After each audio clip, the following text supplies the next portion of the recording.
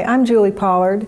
In today's acrylic demonstration, we'll be painting a woodland creek scene exploring the versatility of acrylic. We're going to combine the transparency of watercolor with the opacity and richness of acrylic used similarly to oil.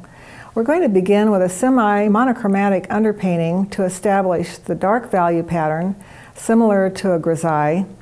And we'll use a palette of colors to create harmony, unity, and ease of color and value mixing.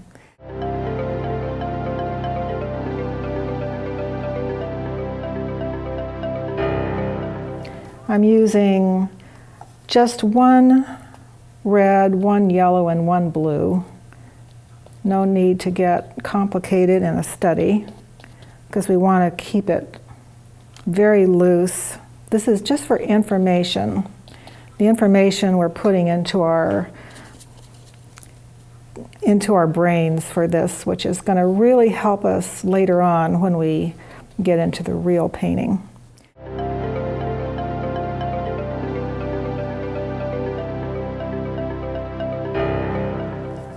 I'm sticking with wide flats, wide flat brushes during this stage so I don't get too picky.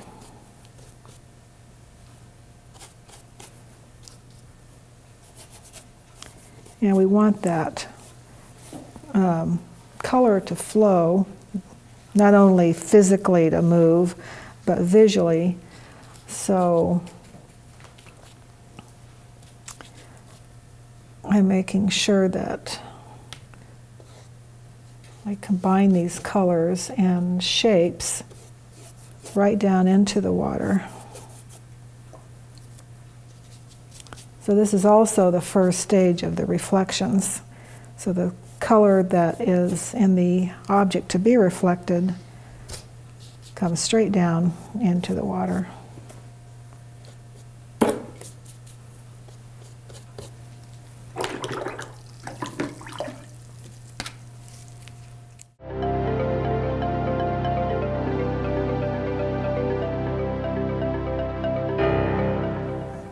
Just going to go back and forth at will until I get it to look kind of like I want it.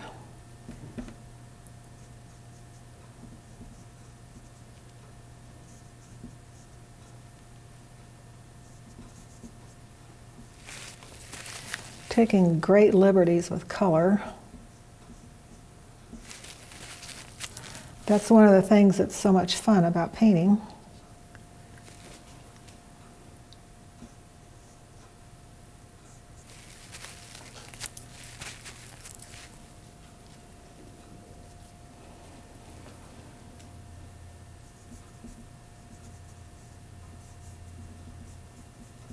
So as long as I use values that will create the shapes that I'm trying to create, I can use pretty much any color scheme I really want to.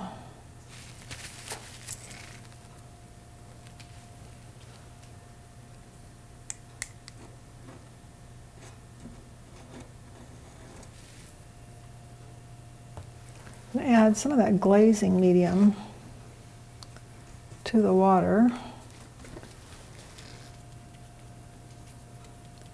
And then paint into it.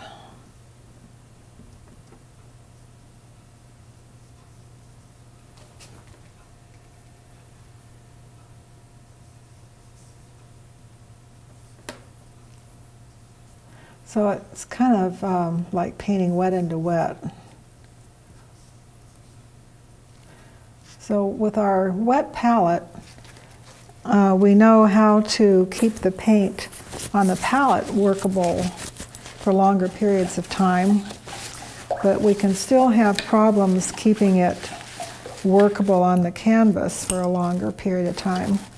So adding a little bit of that glazing medium to the canvas, then painting into it can help you do that.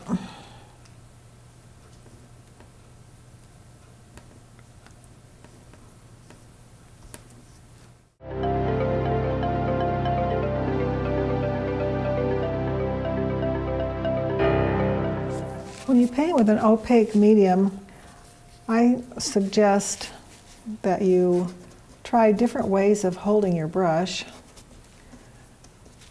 You may have noticed while I'm doing this demo that um, a lot of times I'll flip the brush and hold it like this. Gives you a lighter touch.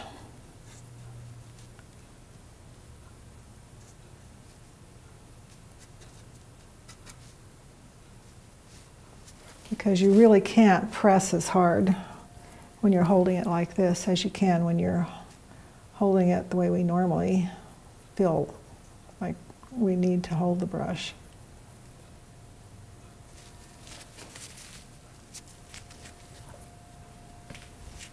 So I want to really scrub, so I'll switch back. So I really want this glow of light coming through that foliage. So I'm really going to put on that light value color pretty strongly.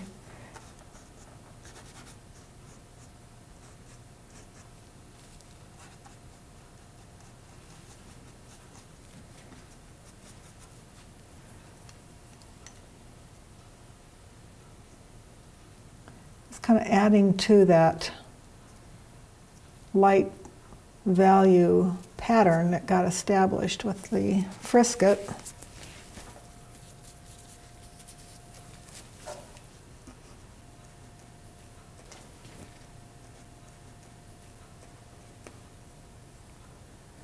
I'm going to mess that up a little bit to push that back.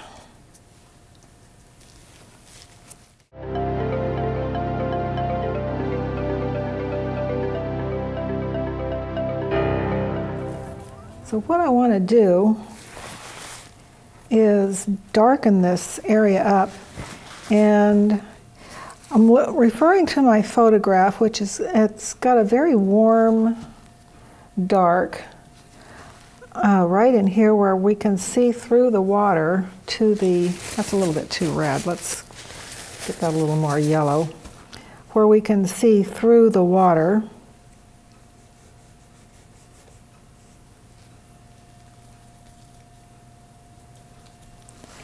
And now that we've got that uh, foliage more or less finished up at the top, now we have a better idea of what uh, the reflection should look like.